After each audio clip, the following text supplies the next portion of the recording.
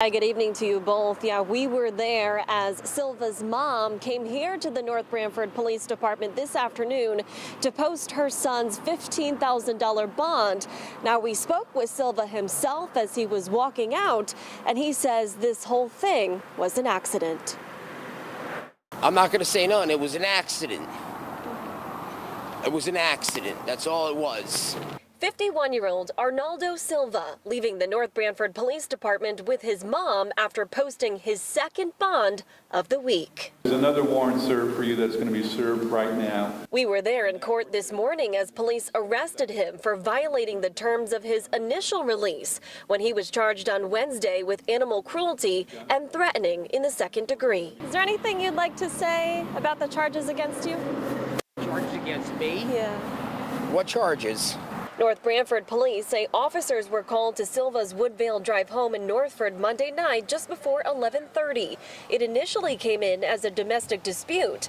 Then police learned about the alleged assault on his daughter's 2-year-old bulldog, Diesel. They entered the residence. They located uh, immediately a blood trail leading back to the uh, what ended up being the father's bedroom. Deputy Chief James Lovelace says police found Silva with cuts on his face covered in blood.